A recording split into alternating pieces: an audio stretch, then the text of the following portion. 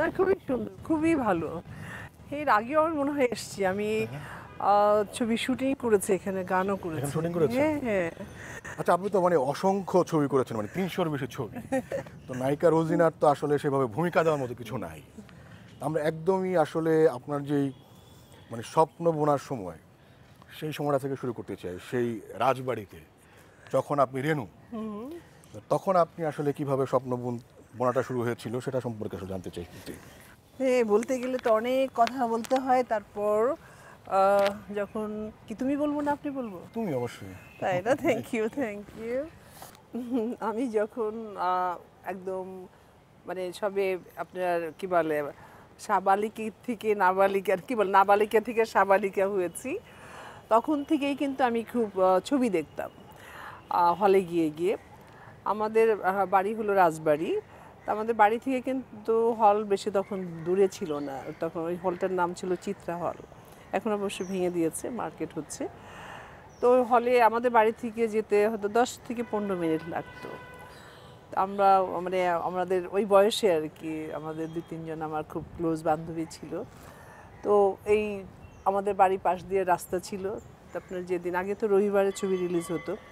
তো রিক্সায় করে কিন্তু আপনার পোস্টার পিছনে আগে আর মাইকিং হচ্ছে। ম্যাডাম কবরী ম্যাডাম শাবানা, রাজ্জাক সাহেবের ছবি, অমুক ছবি আপনার রিলিজ হচ্ছে বা কালকে বা ওরকম আর কি রবিবারে।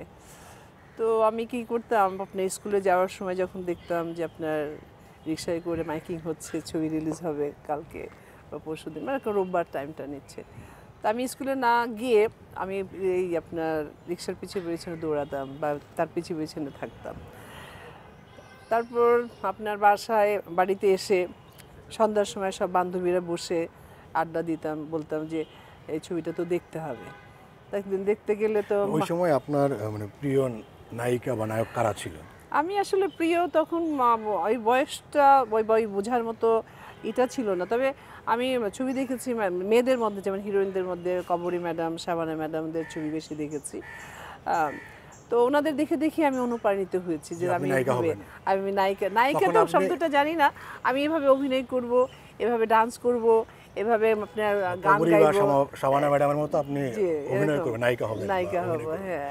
তখন আপনি আসলে নায়ক হিসেবে কাকে কল্পনা করতেন? না এটা একদম আমার ওই ওই বোধগম্বরটা কিন্তু। নায়ক পাশে কে আছে না আছে জানি না। আমি শুধু ফলো করতাম ফলো করতাম যে মেয়েটা হিরোইন কি করছে? কারণ আমি হিরোইন হব। আমি গাইবো আমি নাচবো হ্যাঁ আমি এভাবে কানবো এইভাবে আমি প্রেম করব এই জিনিসটা আমার ভিতরে কল্পনা কাজ করতো। আমি অনেকবার অনেকবার আমি করতাম কি ছবিটা দেখে এসেই কিন্তু আয়নার সামনে এসে আমি প্র্যাকটিস করতাম। তারপর ম্যাডাম সাবানা কিন্তু একটা চুল দিত চাঁদের মতো করে। ওরকম কিন্তু আমি আপনার অনেক পত্রিকা কেটে কেটে রাখতাম। তো আয়নার সামনে দাঁড়িয়ে ওই চুলটা চাঁদের মতো করতাম।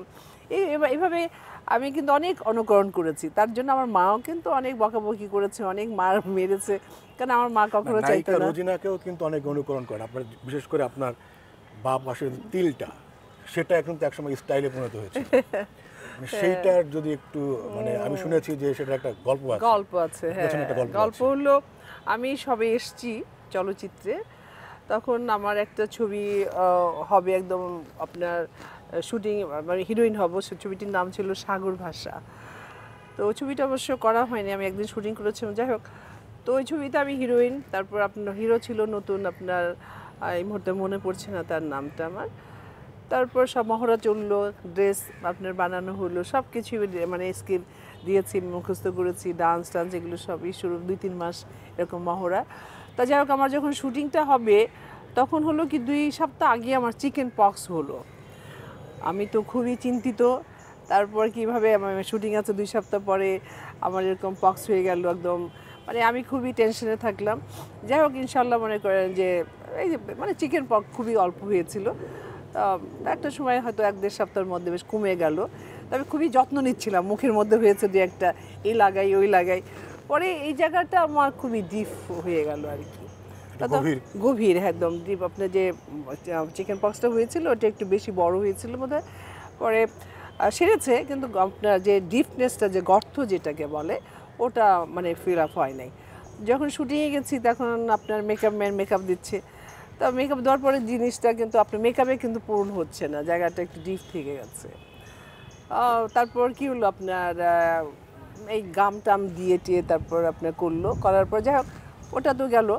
যখন আমি যে ছবিতে অ্যাজ এ একক হিরোইন হয়েছিলাম সাগর রাজমহল যেটা ছবিটির নাম। আমাদের এফডিসিতে তিন নম্বর ফ্লোরে শুটিং আদিল যে ভিলেন ছিল ওই ছবির তো মেকআপ ম্যানকে বলছে যে আদিল ভাই উনি আমাদের মাঝে আজ নেই। তো আমি বলল যে একটা কাজ করতে পারি এখানে একটা তিল লাগিয়ে দে কালো একটা স্পট দিয়ে দিই ওনার- মানে মানে হ্যাঁ ওনার আইডিয়া কালো একটা স্পট করে দিই তখন মেকআপ ম্যান করল কি কালো একটা স্পট করে দিল এখানে। তো সেই যে শুরু হলো আপনার আমার এই কালো স্পট মানে রোজিনা মানেই আপনার বাদিকে একটা কালো স্পট মানে তিল আর কি এটাই হ্যাঁ। আমরা পদ্মাপাড়ের রাজবাড়ি দিয়ে শুরু করেছিলাম এবং সেখান থেকে আবার ঢাকায়ও ঢুকেছিলাম। কিন্তু রাজবাড়ি থেকে যে আপনার যেই স্বপ্ন পূরণের যাত্রা এবং সেই স্বপ্ন পূরণের জন্য যে বুড়িগঙ্গার তীরে আসা এবং সেখানকার যে জার্নি সেটা সম্পর্কে আমি আমরা আসলে একটু জানতে চাই। মানে সেটা কীভাবে মাথায় আসলো যে আপনাকে রাজবাড়ি ছাড়তে হবে তারপরে আপনাকে আসতে হবে ঢাকায়? না ছাড়তে হবে রাজবাড়ি সেটা না সেটা হলো আমার নানা বাড়ি কিন্তু আমার গোয়ালন্দতে। তা আমি প্রায়ই তখন আপনার রাজবাড়ি থেকে আপনার গোয়ালন্দতে আসতাম। আমার নানার নানির আবার বড় নাতনি আমি। তো যার জন্য ওনাদের অনেক আদর পেয়েছি। আর ম্যাক্সিমামটা আমি ছোটোবেলা আমার নানা নানির কাছে থেকেছি। তা আমার মা যখনই আমাকে বকাবকি করতো মারতো আর বিশেষ করে কেন মারতো আমি একটু ছোটোবেলায় একটু দুষ্টুমি করতাম বেশি আর কি।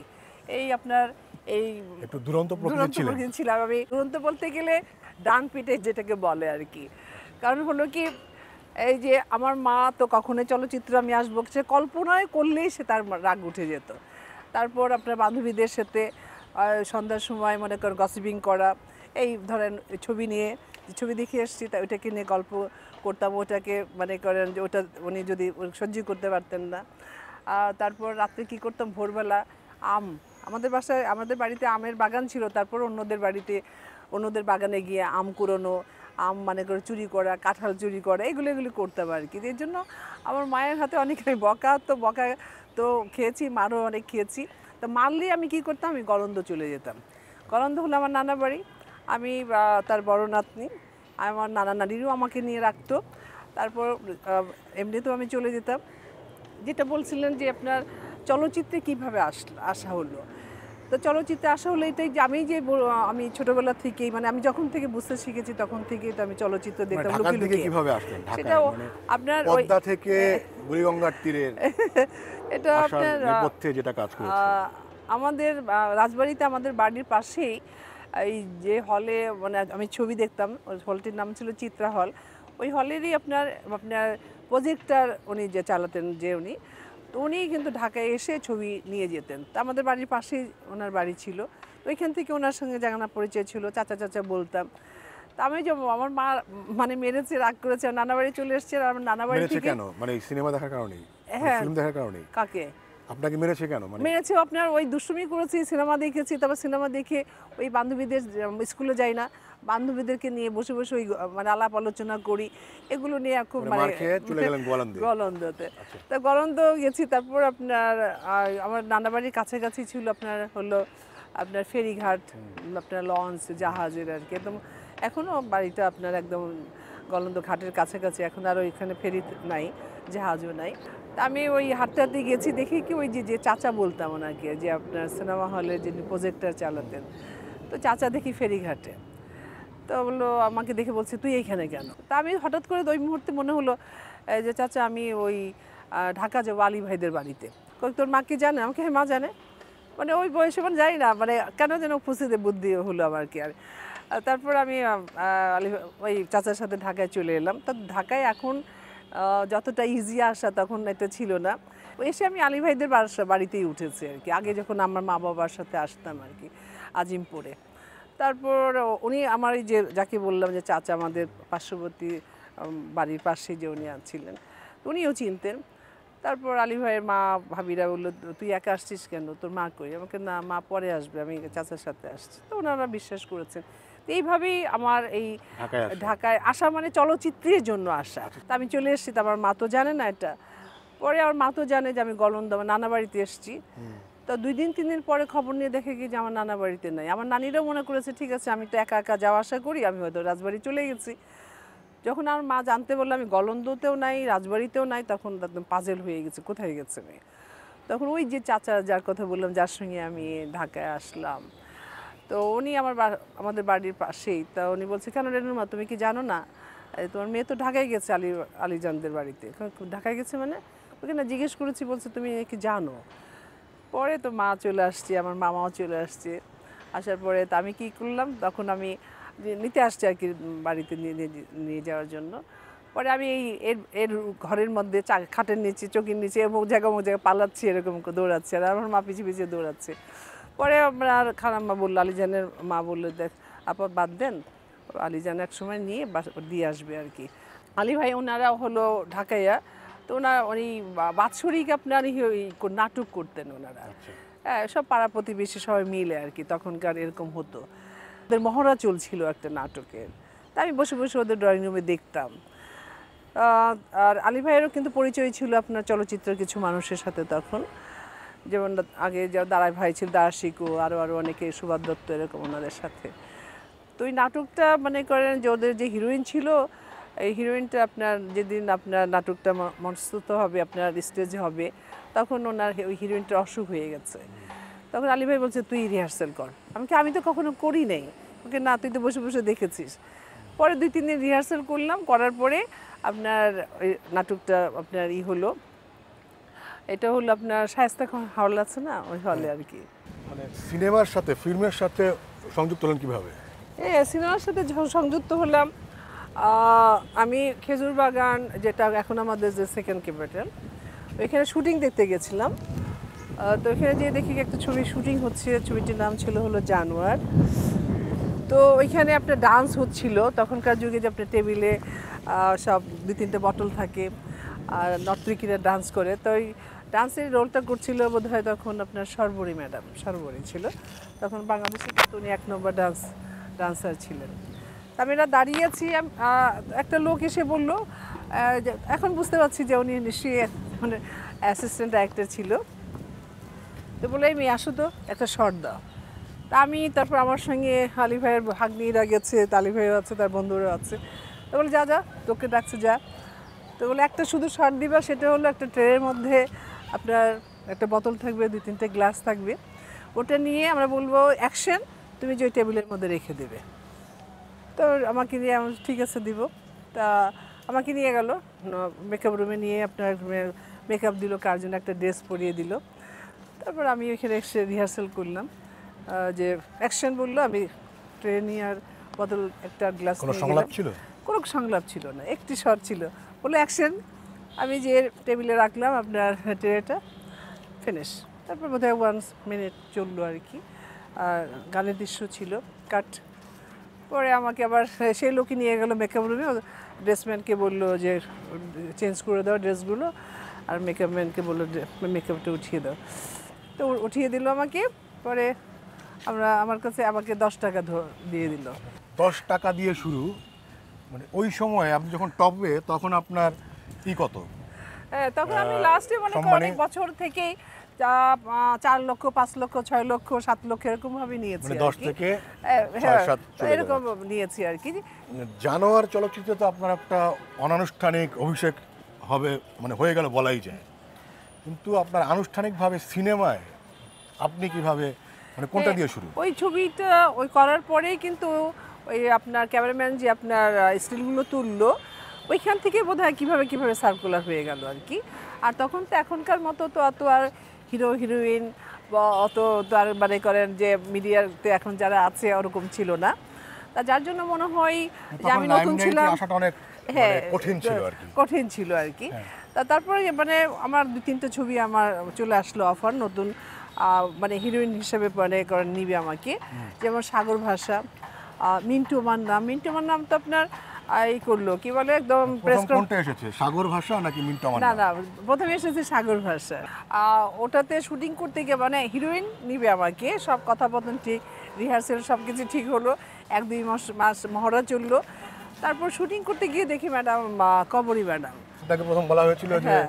মূল নায়িকা মানে প্রধান- নায়িকা প্রধান হ্যাঁ, নায়িকা আচ্ছা। পরে যে দেখি না প্রধান নায়িকা তো আমি না পরবর্তীতে ওই একদিনই যে শুটিং করেছিলাম পরবর্তীতে আমি কিন্তু কাজ করি করিনি। তারপর আবার আরেকটা ছবির জন্য অফার পেল সেটা হলো মিন্টোমার নাম ছবি। আচ্ছা সেটা কি হলো? না ওটাও কিন্তু দুই তিন মাস মহড়া দিলাম। হ্যাঁ। আপনার ড্রেসের মাপ চলল হ্যাঁ। আপনার রিহার্সেল চলল স্ক্রিপ্টে সব কিছুই ওই ছবি থেকে কিন্তু আমার নামটা হলো রোজিনা। আচ্ছা। হ্যাঁ আর আর দিয়ে তো যেমন আমার নাম হলো রওশনারা রেনু। রেনু। তারপর ওই রসনারার মধ্যে র আছে আপনার রেনুতেও আর আছে হ্যাঁ। আপনার রোজিনাতেও আর আছে যার জন্য আমার কাছে ভালো লেগেছে। তো ওই ছবিটাতেও কিন্তু আপনার ওই গল্পর যে চরিত্রটা গল্পর যে হিরোইন ওনার ওনার ওই গল্পের হিরোইনের নামও রাখা হয়েছে হলো রুজিনা যাতে আমি নতুন আপনারা যেন সবাই পরিচিতিটা ভালো মতো তাড়াতাড়ি পায়। ওটাও মহড়া চলল এক দুই মাস সব কিছুই হলো পরে দেখা গেল যে ওই ছবিতে আমি নাই ববিতা ম্যাডাম। আচ্ছা। তো তখন আমি খুব শক্ট হয়েছিলাম এই নিউজটা দিয়েছিল আমাদের ডাইরেক্টর ফখরুল হাসান বৈরাগী। আচ্ছা। উনি যখন এসে বলল যে রেনু তুই তো ওই ছবিতে হিরোইন নাই। তুই কোন ছবিতে? কাকি মিন্টু আমার নাম- ছবিতে? এই বলে কি আর দুই তিন মাস থেকে সব মহড়া চলছে সব কিছু হচ্ছে আর শুটিংও এক সপ্তাহ না দুই সপ্তাহ পরে আর কি। তখন আমি খুব কেঁদেছিলাম আর কি। পরবর্তীতে যখন আমি হিরোইন হলাম ফুল ফ্লেজেড একদম ইনশাল্লাহ আপনার ওই ছবিটির নাম ছিল হলো আপনার রাজমহল। আপনার প্রথম প্রথম হ্যাঁ নায়িকা হিসেবে আপনার সেভেন্টি প্রথম এইটে এইটে আপনার রিলিজ হলো। আর যেটা বোধ হয় জানো ফে মার্চ এপ্রিল মাসে বোধ হয় তারপরে থেকে ইনশাল্লাহ আমাকে আর পিছনে তাকাতে হয়নি। আপু আপনার তো অনেক নায়ক। আমার অনেক নায়ক মানে? মানে অনেক ছবি নিয়ে অভিনয় করেছেন আপনি নায়িকা ছিলেন আপনার নিশ্চয় অনেক নায়িকা। নায়ক সেটা ছিলেন। বলো আমার তো অনেক নায়ক একদম আমি তো ঘাবড়ে গেছি। হ্যাঁ অবশ্যই। আমার অনেক নায়কের সাথে আমি চলচ্চিত্রে যখন এসেছি, অভিনয় করতে হয়েছে। তবে সেই নায়কগুলো আমি যখন চলচ্চিত্রে আসিনি, এই নায়কদেরকে, এই নায়কদের ছবি দেখতাম আর ভাবতাম যদি এদের সাথে অভিনয় করতে পারতাম। আর যখন চলচ্চিত্রে এলাম, ওনাদের সাথে আমি অভিনয় করেছি। তো সবচেয়ে বেশি ছবি করেছি আমি ওয়াসিম সাহেবের সাথে। ওয়াসিম সাহেবের সাথে আমি, আপনার সোশ্যাল ছবি থেকে শুরু করে ফোক, ফ্যান্টাসি, রাজকীয় ছবি, যেমন মিনি বিনি সুতার মালা। মানসী এমনি করে কিন্তু অনেক সোশ্যাল ছবিতে অভিনয় করেছি। যে ছবিতে আমি প্রথম চলচ্চিত্রে এসে রাজমহল সেই ছবিতেও কিন্তু ওয়াসিম ভাই ছিলেন। উনি তখন সুপার সুপার স্টার। তেমনি করে কিন্তু আমার, আমি দেখলাম, আমি না শুধু, এটা হলো আমাদের মিডিয়ার উনি মারা যাওয়ার পরে মানে ওনার কতগুলো ছবি রিলিজ হয়েছে, এগুলো বেশ হিসাব করেছে, তখন দেখে ওনারাই জাজ করেছে যে আমার সাথে বেশি ছবি হয়েছে, ওনার সাথে আমার বেশি ছবি হয়েছে। তারপর ফারুক সাহেবের সাথে তারপর হলো আপনার পারভেজ ভাইয়ের সাথে, আলমগীরের সাথে কাঞ্চনের সাথে কাঞ্চন অবশ্য আমরা এক সময় এসছি তো এক বছর আগে পরে এসছি। জাফর ইকবালের সাথে, রাজ্জাক ভাইয়ের সাথে। হ্যাঁ রাজ্জাক ভাইয়ের সাথে আমি হিরোইনেরও কাজ করেছি, আবার বোনের রোলও করেছি। তবে একটু ডিফারেন্ট কি? একটু বলতে হয় আর কি রাজ্জাক ভাইয়ের সম্বন্ধে যে কারণ ওনারা যে এত বড় মাপের শিল্পী, এটা আসলে না না বললেই নয়। ওনার সঙ্গে আমার প্রথম যে ছবিটাতে কাজ শুরু হলো, সেই ছবিটির নাম ছিল আয়না। মহসিন সাহেব ছিলেন হলো ডাইরেক্টর তো আমি নতুন ন্যাচারালি মনে করেন আমি চলে গেছি সাড়ে ছটা পৌনে সাতটার সময়। মেকআপ নেওয়া শেষ। তখন ওই- দিন হলো রাজ্জাক ভাইয়ের সাথে আমার তিনটা বা চারটা সিকোয়েন্স হবে আর কি। তা রাজ্জাক ভাইয়ের বোনের রোল করছি এখানটা। আর ম্যাডাম সাবানও আছেন, তো ওই দিন সাবানা ম্যাডাম নাই। আমার সঙ্গে একটা নতুন হিরো ছিল আর কি। তো এখন রাজ্জাক ভাই আসবেন মানে এটা তো আমি তো পর্দায় দেখেছি। আর আজকে হলো সামনাসামনি তার সাথে অভিনয় করব আর কি। ওইটা তো একটা টেনশন বা আবার ভালো লাগা এটা আছেই তা আমি আর উনি হলেন তখন তো সুপার সুপার স্টার রাজ্জাক সাহেব। আমি নতুন, আমি তো বারবার পড়ছি রিহার্সেল করছি। তারপর মেকআপ টেকআপ শেষ, আমি ফ্লোরে যেয়ে আপনার অ্যাসিস্ট্যান্টদের সাথে রিহার্সেল করছি আর কি। রাজ্জাক সাহেবের রোলটা অ্যাসিস্ট্যান্ট করছেন, আর আমি আমার রোলটা করছি। তো এই রিহার্সেল চলছে চলছে। এর মধ্যে বোধহয় সাড়ে আটটা আটটা হবে। এর মধ্যে শোনা গেল রাজ্জাক সাহেব এসছেন। ডাইরেক্টর মহসিন সাহেব ফ্লোরে ছিল। উনি চলে গেলেন মেকআপ রুমে তারপর বোধহয় আপনার আধা ঘণ্টা বা ফর্টি মিনিটস পরে রাজ্জাক ভাই ঢুকলেন ফ্লোরে এসেই ওনার যেরকম একটা এটা, এই লাইটটা ঠিক আছে তো চলো, কোথায় পজিশন দাও স্কিপ দাও। আজকে কি, এখন কি কোন সিকোয়েন্স করব? তো ধরিয়ে দিলেন ওনাকে যে আজকে এই সিকোয়েন্সগুলো হবে। আর রেডি ঠিক আছে পড়ো, বলো। তো ওনার মতো উনি কথাবার্তা বলছেন, লাইটও রেডি হচ্ছে, এটি হচ্ছে। তখন আর আমার ডাইরেক্টর সাহেব আমাকে পরিচয় করে দিলেন আমার সাথে, আপনার রাজ্জাক ভাইয়ের সাথে। বলল নতুন মেয়ে ওই ছবিতে সে সেকেন্ড হিরোইন করছে। তারা যে বলল, না, ভালো, খুব ভালো, নতুনদেরকে আসা উচিত। তো ওনার স্ক্রিপ্ট পড়ছেন আর কি, ওনার যে সিকোয়েন্সটা তো উনি পড়ছেন, ওনার তো শেষ, ওনার তো মানে মানে একবার পড়ে শেষ হয়ে গেলে যে উনি বুঝে গেলেন যে ওনার চরিত্রটা কি। মানে চরিত্র মানে ওই মুহূর্তে কি কাজটা করতে হবে আর কি সিকোয়েন্সটা কি। পরে আমার মানে আসলো আর কি, ওনার রাজেক ভাইয়ের আমি সিকোয়েন্সটা করব। রেডি তা আমি তো আগে রিহার্সাল করেছি, এখন রাজেক ভাইয়ের সাথে মনে করেন রিহার্সাল দিতে হবে। তা আমি একবার বা দুইবার বোধহয় কথা বলেছি, পরে আমি আর বলতে পারছি না আমি। মানে আমি আমি জানি না, ওটা হতভম্বও না ঠিক ভয় না কি জানি না। আমি একদম একটা স্ট্যাচু হয়ে গেছি। আমি শুধু ঘামছিলাম না কি ওরকম।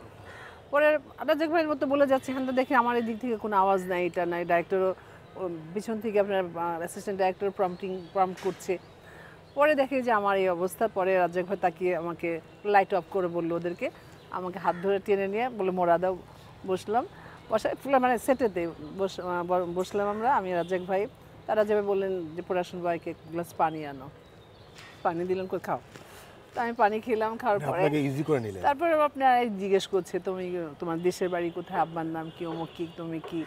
তারপরে কেন এসেছ? কেন ভালো লাগল চলচ্চিত্রে অভিনয় করতে? আমার ইতিহাস আমি বলছি আর কি। হ্যাঁ তো খুব ভালো তো। তুমি নিজে থেকে ভেবেছো যে না আমি অমুক হব তমুক হব। ভয় পাওয়ার তো কিছু নেই। আমি কিন্তু একটা সময় নতুন ছিলাম এই ছিলাম তারপর একটু ইজি হয়ে গেলাম। পরে শর্ট হলো আর কি। তো ওনা, উনি যেমন পুরনো, তাড়াতাড়ি হয়ে যাচ্ছে, তা আমার একটু কেটে হয়তো একটা সিকোয়েন্স যেখানে এক ঘন্টায় হবে, সেখানে দেড় দুই ঘণ্টা লেগে গেল। তার পরবর্তীতে যতগুলো আমি ছবি করেছি রাজধানী ভাইয়ের সাথে অন্য অন্য হিরোদের সাথে যতটা ইজি মনে হয়েছে, প্রথম শটে কিন্তু রাজ্জাক ভাইকে ভাইয়ের সাথে অভিনয় করতে গিয়ে অতটা ইজি মনে হয়নি। মনে হয়েছে বোধ হয় আছে না যে মুরব্বী পানা মনে হয়েছে যে বোধ আমার খুবই গার্জিয়ান বা আমার একজন মুরব্বীর সামনে অভিনয় করছি। পরবর্তীতে রাজ্জাক ভাই বুঝতে পারতেন আর কি। তারপরে মানে পিঠে একটা থাপ্পড় দিল। চলো ঠিক আছে answer। এখনকার সিনিয়ররা কি জুনিয়রদের ক্ষেত্রে এই ধরনের আচরণ করে বা এইভাবে ওয়েলকাম করে? আমি আমি জানি না বলতে পারব না যে করাটা উচিত আর কি। যারা নতুন আছে যারা সিনিয়র তাদেরকে কপারেশন করা উচিত একটা মানে জুনিয়র শিল্পীদের প্রতি একটা সহানুভূতি থাকা উচিত আর কি। আর যেটা তুমি বলছিলে সেটা হচ্ছে যে আপনার পর্দায় আপনার যতজন নায়ক একমাত্র ইলিয়াস কাঞ্চন ছাড়া সবাই কি আপনার সিনিয়র ছিলেন? আমার অনেক অনেক সিনিয়র মানে সবাই সিনিয়র সবাই সিনিয়র কারও সাথে ধরনের এরকম ধরনের অনেক গসিপ শোনা যায় কিংবা অনেক সময় আবার গসিপ সত্যিও পরিণত হয়। আপনার সাথে সবচেয়ে কোন নায়ককে নিয়ে বেশি গসিপ ছিল? এ ফারুক ভাই ভাইকে নিয়ে তো অনেক গসিপ হয়েছে। আমি তো ফারুক ভাইয়ের সাথে অনেক ছবি করেছি একটা সময়। তখন জুটি হিসেবেও কিন্তু অনেক আখ্যায়িত করেছে পত্রপত্রিকা মিডিয়ার লোকজন। তো অনেক গসিপিং করেছে আর কি ফারুক ভাইকে নিয়ে আবার একদমই ভিত্তিহীন ছিল। না ভিত্তিহীন কি- মানে আসলে হলো কি মানে একটা ছবি কাজ করতে করতে আপনার মানে অনেক ছবি করছি একটা হিরোর সাথে। ন্যাচারালি একটা সুন্দর একটা সম্পর্ক বন্ধুত্ব কেমিস্ট্রি তৈরি হয়। হ্যাঁ আর হঠাৎ করে মনে করেন সে আরেকজনের সাথে করছি হয়তো মাসে একবার দুইবার একটা ছবিতে কাজ করছি। কিন্তু তখন হয়তো কেমিস্ট্রি আছে কিন্তু বাট ওই ধরনের একটা মনে করেন যে একটা কি বল বোঝাপড়াটা ওরকম হয় না। তা এই জন্য মনে হয় প্রেম মানে কাজের পরিপ্রেক্ষিতে প্রেম কিন্তু অরিজিনালি কাজ শেষ প্রেম শেষ। রোমান্টিক সেন্সে কোনো না ওই ধরনের আসলে যে বড় হয়নি আমার। কিন্তু যে কিছু যে ছিল না তাও নয়। এটা কিছু তো হয়তো ছিল কিন্তু ওভাবে একদম প্রখর ভাবে না। কারণ কাঞ্চনের সাথেও তো অনেক লিখেছে যখন কাঞ্চনের সাথে অভিনয় করেছি ওই দিন বলছিল সে যে ওর সাথেও আমার প্রেম বিয়ে করে ফেলছি এখান তেন এটা সেটা সেটা। এগুলো আসলে আমরা চলচ্চিত্রের মানুষ স্টার এটা মনে করেন যে আপনার কোনো আপনি মানে বিব্রত হতেন নাকি উপভোগ করতেন না না না মাঝে মাঝে যেটাকে একেবারেই ভিত্তিহীন একটু বিব্রত অবশ্যই হতাম। তখন কিন্তু আগে যে আমাদের জার্নালিস্টরা যারা ছিল অবশ্যই বন্ধুসুলভ ছিল অবশ্যই আমাদের সাথে খুব সুন্দর সম্পর্ক ছিল। দেখা হলে দেখা এই দেখা গেল শোনা যায় যে অনেক সময় নতুন সিনেমা আসলে সেটাকে হিট করানোর জন্য প্রোডাকশন থেকে কিছু কিছু গসিপ ছেড়ে দেওয়া। এরকম কিছু কখনো না আমরা জানি না আমাদের সময়গুলো কোনো ব্যাপার ছিল না। হয়তো এখন আছে কিনা বলতে পারব না।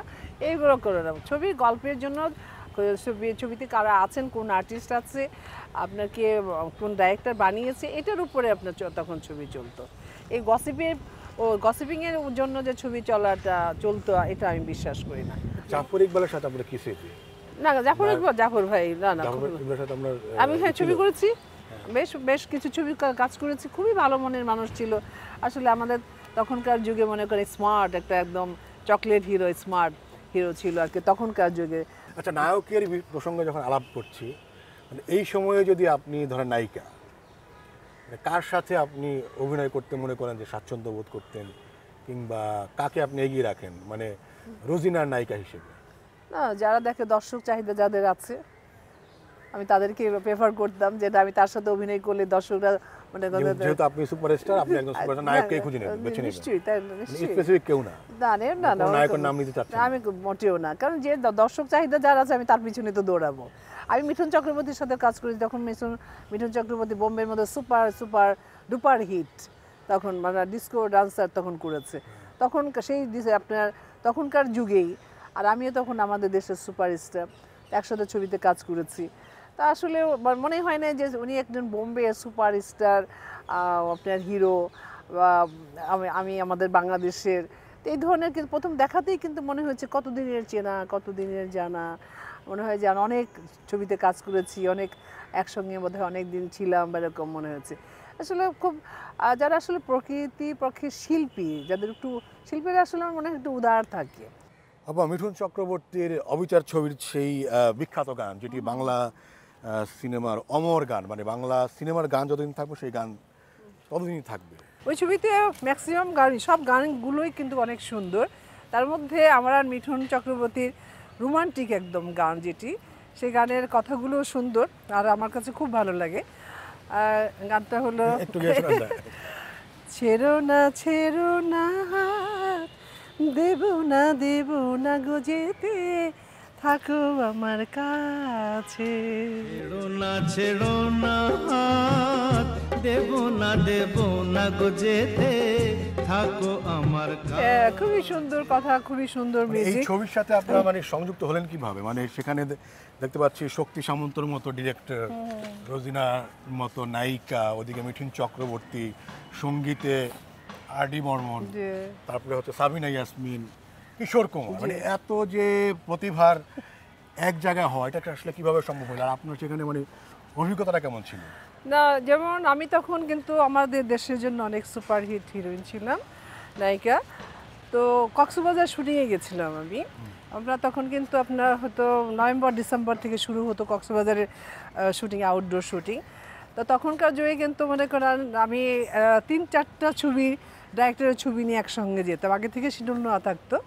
তাই বোধ এক মাস বা দেড় মাসের জন্য গেছি। কারও দশ দিন, কারও পাঁচ দিন, কারও পনেরো দিন এভাবে শিডিউল দিয়েছি। তো একদম সারাদিন শুটিং করে আসছি। এসে দেখি হঠাৎ করে হাসান ইমাম, আমাদের যে হাসান ইমাম সাহেব, হাসান ভাই, ওই ছবির কিন্তু উনিও ডাইরেক্টর ছিলেন আর কি তো হাসান ভাই আসলেন, বলল যে, শক্তি সামন্ত এসছে বোম্বে থেকে। আমরা যৌথ প্রযোজনের একটা ছবি করছি। ওই ছবিতে তোকে নিতে চাই হিরোইন। তা আমি বললাম ঠিক আছে। তখন কিন্তু আমি এত মানে বিজি মানে শিডিউল মানে মানে কত দুই চার মাস আছে কিনা আমার জানা নাই। তখন আমি হাসান ভাইকে বললাম, তাহলে শিডিউলটা কবে পড়ছে? পড়বে এক দুই মাস পরে আর কি। তাহলে আগে থেকে একটু বলবেন? বললে, তাহলে শিডিউলটা আমি আমার মাস্টারকে বলে দিব। হ্যাঁ মিঠুনের সাথে প্রথম দেখা হয় আমার, এই, আপনার, আমাদের পুরনো এয়ারপোর্ট যেটা আগে এয়ারপোর্টটা ছিল ওখানে উনি বোম্বে থেকে এসছেন। ওই আমরা চলে যাব হলো আপনার কুয়াকাটাতে হেলিকপ্টারে। তো উনি এসে দেখি আপনার দাঁড়িয়ে আছেন আর ওখানে হাসান ভাইও আছে শক্তি সামন্ত আছে। তা আমি একটু ভয় পাচ্ছিলাম যে উনি হিন্দি ভাষায় কথা বলবেন আমি এটা কতটুকু কতটুকু ই করতে পারব ওনার সাথে। পরে উনি আমাকে দেখেই বলল হাই রে রুজিনা! একদম মনে হলো যে না মানে একশো দেড়শো হাত দূরে ছিলেন উনি দাঁড়- দাঁড়ানো আমি ঢুকছি। পরিচিত। হাই রোজিনা তোমার জন্য ওয়েট করছি কি ব্যাপার? তুমি আমাকে দাঁড় দাঁড় করিয়ে রেখে কোথায় পালিয়েছিলে? মানে একদম এমনভাবে কথা বলছে মনে হয় যে কত দিনের চেনা কত দিনের জানা আমি একটু- হতভম্ব হয়ে গেলাম আর কি। তুমি আমার কত চেনা সে কি জানো না? গানটা শুনছিলাম ওই গানটি কিন্তু আমারই প্রযোজিত দুলনা ছবির গান। এই গানটি আমরা শুটিং করেছিলাম হলো নেপালে আর কি। এত ঠান্ডা ছিল, ওরে বাপরে বাপ। মানে শর্ট দেওয়ার পরে কি করেছি? একদম ওরা আমাদের প্রোডাকশনের সব লোকজন কাঠ দিয়ে আগুন জ্বালিয়ে রেখেছে। আর আমার ড্রেস ছিল শুধু একটা মানে সিম্পল একটা খুবই মানে আসলে অর্ডিনারি না, ঠিক? মানে বড় লোকের মেয়ে এসে, তো মডার্ন একটা ড্রেস বেশ কি বলে, নিচে পায়জামা না, ঠিক, ঘাগরার মতো, উপরে একটা আপনার টি শার্টের টি শার্ট না, ঠিক শার্টের মতো আর কি। তো তারপর ড্রেস অনেক চেঞ্জও ছিল অনেকগুলো। তো শীতের মধ্যে কিন্তু কাজ করেছে ওগুলো পরে। পরার পর দেখি শর্ট শেষ তারপর আগুনের কাছে এসে বসেছি। হ্যাঁ, না? এটা আমি ম্যাক্সিমাম ছবিটাই কিন্তু শুটিং করেছি হলো নেপালে। শুধু একটা সেট করেছিলাম আমরা এফডিসিতে ও এই গানটা করতে লেগেছিল তিন দিন। অনেক জায়গায় হ্যাঁ তিন দিন তিন দিন পরে আমরা শুটিং করেছি কেন অনেকগুলো লোকেশন ছিল। মানে তিনটা লোকেশন ছিল আর কি যার জন্য আমাদেরকে তিন দিন লেগেছে এক একটা লোকেশনে যেতে। যাওয়া আসা তো টাইম লাগে। তো খুবই সুন্দর গানটা কথা তারপর লোকেশন আর মানে শুটিং করার মজাটাও মজাকে একদিকে কষ্ট লেগেছে ঠান্ডা আবার একদিকে মজা খুব ভালো লেগেছে যে না খুব ভালো পরিবেশে ভালো লোকেশনে গানটা হচ্ছে আর কি। তুমি আমি আমি তুমি সে কি জানো না? তো বৌমা ছবিতে এই গানটি ছিল। আমার এত ভালো লাগে, কথাগুলো সুন্দর। আজ কেন এত ভালো লাগছে? মানে এত সুন্দর এই ছবিটি। আমরা ছবিটি শুটিংও করেছিলাম, আপনার কক্সবাজার, গানটিও শুটিং করেছি কক্সবাজার। তো আমার মনে হয় এই গানটা এখনও পর্যন্ত দর্শকের একদম মনে মানে দাগ কাটে আর কি। মানে রোমান্টিক মানে এত সুন্দর রোমান্টিক গানটা। তারপর আমি আরও অনেক অনেক ছবিতে মানে ভালো ভালো গান আছে, যেমন মানসী ছবির এমন তোমাকে দিলাম। এখনও কিন্তু আমি দেখি দেশ বিদেশে এখনকার যারা নতুন সিঙ্গার এই গানটা দিয়েই কিন্তু স্টেজের মধ্যে শুরু করে। এত ফেমাস এত ফেমাস মানে আমি কি বলব খুবই আমার কাছে ভালো লাগে যে, না, আমি এই ধরনের গানে লিপসিং করেছিলাম। আরও যেমন মনে করেন যে, আমি ফারুক ভাইয়ের সাথে অনেক অনেক ছবির গানই আপনার খুবই ফেমাস এই বন্ধু আমার আমি এই ছবিটিতে করেছিলাম এই ছবিটি করেছিলাম হলো মার্ডাস হোকেনাকেল তো ভালোবাসি ভালোবাসি। এত সুন্দর মানে লোকেশন গান মিউজিক আর মিউজিকটা করেছিল হলো বাপ্পি লেহেরি গানও গিয়েছিলেন বাপ্পি লেহেরি আর আশা ভোসলে ছিলেন।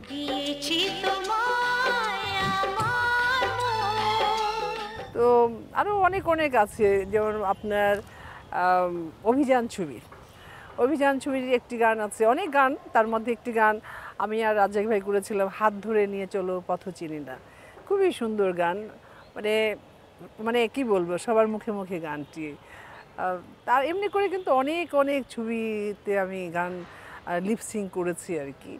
অসংখ্য মানে তো কোনটা রেখে কোনটা বলব আর কি? জি, আসলে কোনটা কোনটা রেখে কোনটা হ্যাঁ, বলবেন আসলে আপনার জীবনের যে গল্প মানে পুরোটা জানতে আসলে আমার মনে হয় যেরকম কয়েকটা এপিসোড করতে হবে আসলে একটা এপিসোডে করা সম্ভব নয়। যেমন কষাই ছবিতে আমি যেটা প্রথম ন্যাশনাল অ্যাওয়ার্ড পেলাম ও ছবিতে একটি গান ওটাও কিন্তু ন্যাশনাল অ্যাওয়ার্ড পেয়েছে আর কি। তো ভালোবাসি বলিব না আর। ওই ছবিটার গানের আপনার অডিও ভিডিও নেই অডিও আছে। তো দেখি অনেকেই মানে গ্রামগঞ্জে কিন্তু গানটি রেডিওতেও যখন বাজে বা টেলি এসে দেখি আপনার ইউটিউবের মধ্যে তো মানে মন দিয়ে গান মানে শুনে আর কি। তো এমনি করেই অনেক অনেক ছবির গান মানে এখনকার গানে ওইভাবে মানুষের উপরে প্রভাব পড়ে না কেন বা মানুষ কেন নেয় না সেভাবে আসলে হলো কি আগের যে গানগুলোতে যেটা ছিল মানে আমার মনে করি আর কি যে আপনার মেলোডিয়াস ছিল আপনার গানের কথাগুলো সুন্দর ছিল বা ছবিতে যে আপনার যেটা পিক্সারাইজেশন হতো আর কি মনে হতো যে নর্মাল লাইফ মানে লাইফের সাথে মিল আছে। এখন হলো কি যেটা আসলে, এটা আসলে এটা যুগের সাথে মানে তাল মিলিয়ে চলতে হবে, যে গানগুলো করতে হলে এত ফাস্ট মানে মিক্স গুন করে, এ করে, সে করে মানে তারপর যে কথা সুর একটু মানে ফাস্ট হতে হবে, আর তাল ল একটু ফাস্ট হতে হবে। মানে এটা আমি মনে করি আসলে যুগের সঙ্গে তাল মিলিয়েও এটাও হতে পারে যে আসলে কি তাল মেলাতে পারছে কিনা সেটাও একটা প্রশ্ন। মানে আচ্ছা, তাল আরেকটা আমার আসলে মানে ধরে রেখেছি এই আমি আপনাকে করব। মানে আপনি নানান বৈচিত্র্য রকমের চরিত্রে অভিনয় করেছেন। একদমই ফোক চরিত্র ঘোড়ার উপরে ফাইট করছেন তারপরে আবার গ্রামের মেয়ে মানে ফোক ক্যারেক্টার ফ্যান্টাসি fantasy কীভাবে কীভাবে সম্ভব এটা হলো কি জানি না এটা বলতে আল্লাহর রহমত আল্লাহর মেহরবানি। আমি আমি দাবি করে বলতে পারি যে এমন কোনো ধরনের নাই যে আমি চরিত্র করিনি মানে চলচ্চিত্রে। একেবারে ফাইটিং থেকে শুরু করে ঘোড়ায় একটা সময় কিন্তু ছিল যে আমি সবচেয়ে বেশি কিন্তু হিরোইন হিসেবে হর্স রাইটিং করতে পারতাম। আর তারপর আপনার তরল ফাইট মানে কোনোটাতে আপনি স্ট্যান্ড ম্যান বা স্ট্যান্ড কিছু নিতেন না? না খুবই কম আর কি খুবই কম হতো। তারপরে আবার অনেক দিন পরে এসে আপনি রাক্ষসী করলেন। হ্যাঁ। তখন মানে এই যে একটা গ্যাপ দিয়ে যে আবার করলেন এই ফিরতে কি কোনো সমস্যা হয়েছে? মানে। আবার চরিত্রে ঢুকতে আবার মোটেও না কারণ আমি কিন্তু অনেক সময় পেরিয়ে গেছে নতুন প্রযুক্তি। না এটা আমি কলকাতার আমি কিন্তু বাংলাদেশে করিনি। কিন্তু আমি কলকাতায় কিন্তু মাঝে মাঝে ছবিতে অভিনয় করেছি এসে আর কি। তা যার জন্য হলো কি যে আমি বাংলার বধূ কিন্তু কলকাতায় আমি আর তাপস পাল করেছিলাম। আপনারা দেখবেন ইউটিউবে, বোধহয় বেশি আগের না আর কি এটা। তারপর যখন এটা আমাদের দেশেও কিন্তু মাঝখানে দুই হাজার নাইনটি সিক্স, সেভেন বা এইট থেকে শুরু হলো একটু ভালগার ছবি, কাট পিস, এটা, সেটা।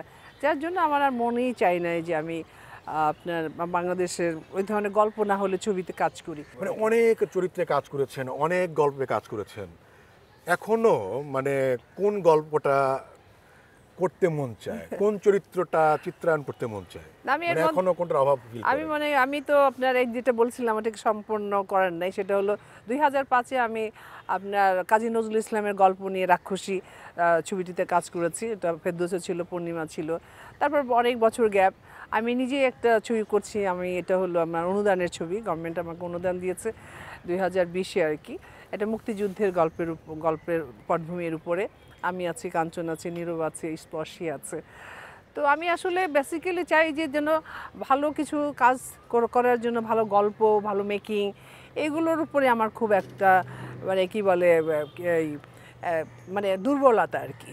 তো ওই মানে সচরাচর আর এখন কাজ করতে চাই না আমি। যেতে, যেটাতে এখন আমাদের কি প্রয়োজন? এখন হলো প্রশংসা, সম্মান, সম্মানিত হওয়া, তাই না?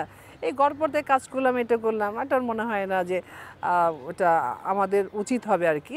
আরেকটা বিষয়ে আমি আমার জানার ইচ্ছা, যেমন ধরেন আপনার, আমাদের যখন সিনেমার যখন আপনার স্বর্ণযুগ বলি, সেই সময়ের গল্পগুলো মানে অনেকগুলোই হচ্ছে আপনার ফোক নির্ভর। আমার, আপনার কি মনে হয় যে আমাদের যে এই সময়ের যে সিনেমার যে অবস্থা, সেটা আমরা অনেকটা আমাদের যে শেকড় থেকে দূরে গিয়ে মানে আমরা, আমাদের গল্পের জায়গা থেকে, আমাদের ন্যারেশনের জায়গা থেকে অনেক দূরে সরে যাওয়ার কারণে আমরা আসলে সিনেমার যেই জৌলুস সেটাও হারিয়েছে। এটা মনে হয় আপনার কাছে কখনো? আসলে আমরা তো সর্বশেষ যতই মডার্নাইজ হোক, যতই আপনার পৃথিবীটা ফাস্ট হোক, যতই হাতের মুঠোয় দুনিয়াটা হোক, আমরা অবশ্যই দেখেন আর কেন বলছি যে আমি কিন্তু ফোনের মধ্যে কিন্তু আপনার লন্ডন আমেরিকার সব সাথে কথা বলতে পারছি মানে দেখতে পাচ্ছি কি হচ্ছে না হচ্ছে। অবশ্যই আমাদের দেশ বলেন, পৃথি- সারা পৃথিবী অনেক দূর এগিয়ে গেছে, অনেক উন্নত হয়েছে। তারপরে যার যার দেশ, যার যার স্থান, জন্মস্থান সেটা কিন্তু মানতে হবে। আমরা সর্বশেষ যেটাই হলো না কেন আমরা বাঙালি। আমাদের কিন্তু মনোভাব যতই উন্নত হোক না কেন বাঙালিপনা কিন্তু থাকবেই, আছে।